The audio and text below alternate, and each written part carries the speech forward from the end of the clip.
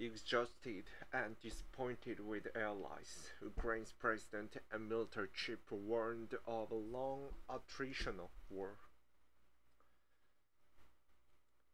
President of Ukraine Volodymyr Zelensky during a meeting with the Secretary General of NATO Jens Stoltenberg on September 28, 2023 in Kiev, Ukraine. CNN Two articles published this week give a stark assessment of Ukraine's prospect in each war with Russia. One by the commander in chief of Ukrainian military admits the battlefield has reached the stalemate and a long attritional war benefiting Moscow beckons. The other portrait Ukrainian President Volodymyr Zelensky are exhausted by the constant effort to cajole and persuade allies to keep the faith. Ukraine's military chief General Valery Zaluzhny says in a long essay and interview with The Economist that just like the First World War, we have reached the level of technology that puts us into a stalemate. He acknowledged that there will most likely be no deep and beautiful breakthrough, but instead an equilibrium of devastating losses and destruction.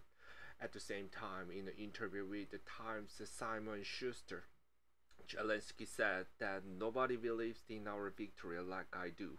Nobody. But he adds that instilling those be beliefs in Ukraine's allies takes all your power, your energy. Shuster, who has long had access to the president's inner circle, portrays Zelensky as the tired and sometimes irritable and anxious and ally, that allied commitment is waning. Exertion with the world rolls along like a wave. You see in the United States, in Europe, Zelensky is quoted as saying, but Zelensky is fixated, with victory and want count, countenance a truce or negotiations. For us, it would mean leaving this wound, wound open for future generation, he tells Time. Five months after Ukraine launched its much anticipated counteroffensive, Zelensky's fears and Jal Zaluzhny's assessment come as the world's focus shift to the Middle East and the risk that Israel's war with Hamas might spill over into the broader regional conflict. Commander-in-Chief of Armed Forces of Ukraine Valery Zaluzhny during the event dedicated to Ukraine's Independence Day on August 24th in Kiev, Ukraine. On August 24th, Ukraine celebrates its 1991 Declaration of Independence from the USSR. Zelensky himself acknowledges to time, of course we lose out from the event in the Middle East. People are dying and the world's help is needed there to save lives. Stalemate on the front. Ukrainian forces have taken just a silver of land since the summer. Russia still occupies nearly one-fifth of the country in some areas such as around Av Avdiivka and Vuhledar in Donetsk and near Kupi Kupiansk in Kharkiv. In the Ukrainians are on the defensive as Russia pours munitions and men into the bat battle. Zaluzhny tells the Economist that the Kremlin is oblivious to the huge losses sustained by the Russian army well over 100,000 men according to many estimates. In the last few days, Ukrainian Defense Minister Rustem Umerov says Russia has lost 4,000 men around Avdiivka alone. Open source imagery suggests the Russians may have lost up to 200 tanks and other vehicles in the battle. Zaluzhny seems almost puzzled that the arsenal supplied to Ukraine by each Western allies and the mobilization of several more brig brigades has made so little differences. Changing commanders and moving divisions have had no impact, he says. Four months should have been enough time for us to have reached the Crimea, to have fought in Crimea, to return from Crimea, and to have gone back in and out again, he adds. Instead, the deep and well enriched, entrenched Russian defenses have been impossible to penetrate. Even where dense minefields are penetrated, often at great cost, the Russians re restore them through remote mining lining. line. Ukrainians' infer inf inferiority in the air has stem stymied, stymied advances on the ground, and Zaluzhnyi warns that at the end of 2023, Russia may deploy new attack squadrons. The commander-in-chief says that at one point he turned to the unold Soviet analysis of the First World War entitled Breaching Fortified Defense Lines. The similarities with today are striking, he notes. I realize that is exactly where we are because just like then, the level of our technological development today has put both us and our enemies in the stupor. The use of drones and other reconnaissance technology is at the heart of the stalemate. Zaluzhnyi talks about the carnage unfolding around Avdiivka as Russia throws throws dozens of tanks into taking a few hundred meters. The simple fact is that we see everything the enemy is doing and we see everything we are they see everything we are doing. At the same time, he acknowledges that the Russian military has learned and adapted. Uh, it has improved the logistics chains, factories, and churning out new hardware and its electronic war warfare capabilities have blunted Ukraine's edge in preci precision munitions.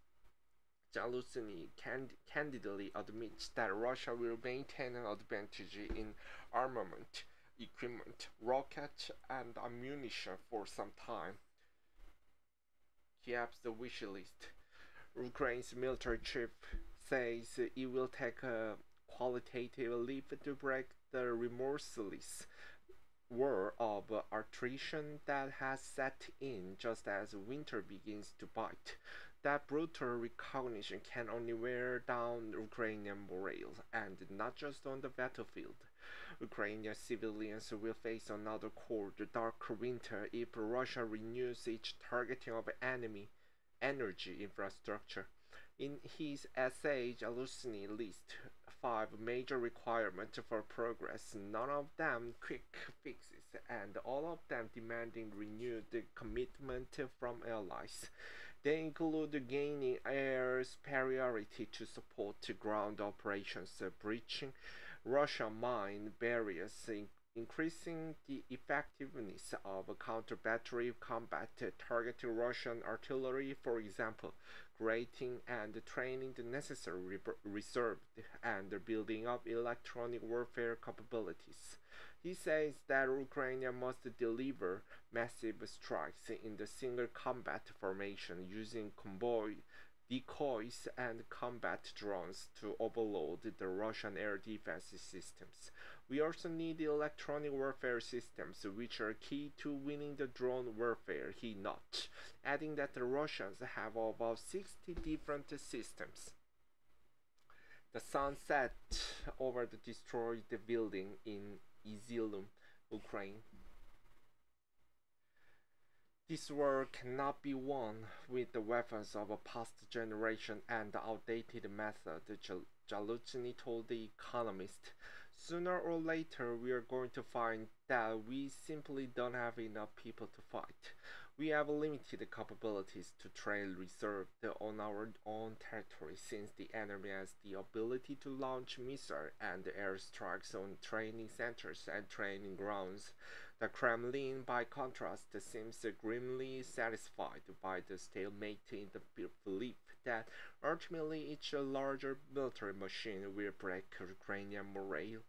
Responding to Zaluzhny's comment, spokesman Dmitry Peskov said Thursday that Russia constantly continued to conduct the special military operation.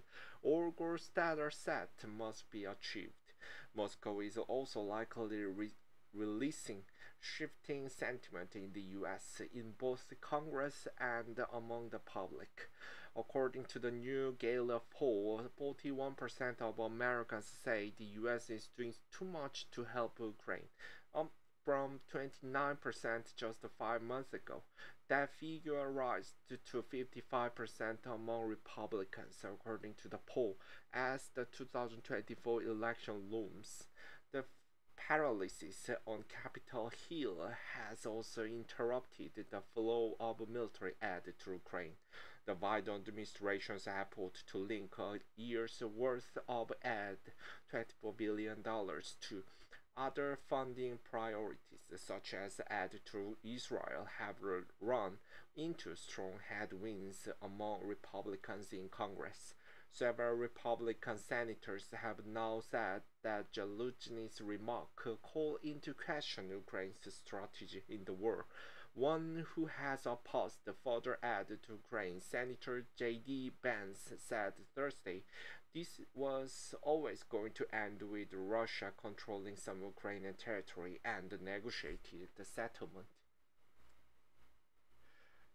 Speaking of his latest visit to Washington in September, Zelensky tells Time that some members of Congress asked me straight up, if you don't go, if you, if we don't give you the ad, what happens? What happens is we will lose. Zelensky and other Ukrainian officials have consistently warned that the volume and type of ad coming from Western allies, as well as what they see as demanding de delays in each arrival, has enabled enabled the Ukraine to stay in the fight, but not to prevail. Shuster quote an aide to the Ukrainian president to say as saying Zelensky feels betrayed by his Western allies. They have left him without the means to win the war, only the means to survive it. Only now are US made the attempts a longer range tactical missile being brought to bear against targets far behind the front lines. F-16 fighter jet will not be deployed until next spring at the earliest. To many Ukrainian officials, this restricted pipeline, pipeline has allowed Russia to stabilize the situation which a year ago threatened to unravel. In the aftermath of the southern Ukrainian advance through Kharkiv and the Russian withdrawal from much of Kherson, if the Russians have the Achilles heel, Zaluzhny believes that it is Crimea. That is partly because it is jewel in President Vladimir Putin's crown and partly because the peninsula is the important channel for resupplying Russian troops as well as the home of its Black Sea fleet. Over the past few months, the Ukrainian military has stepped up missile, drone, and sabotage attacks against Russia's defense infrastructure in Crimea, as well as Putin's surprise breach to Russia. Zaluzhny says that for the first time, a tank was used against the target in Crimea this week, but its land forces remain many miles from the peninsula. For now, Zaluzhny's greatest fear is prolonged trench warfare against an enemy with three times the number of men under arms. The biggest risk of the attrition trench war is that we, it can drag on for years and wear down the Ukrainian state, he says. Zaluzhny describes Russia as the feudal state where the cheapest resource is human life. And for us the most expensive thing we have is our people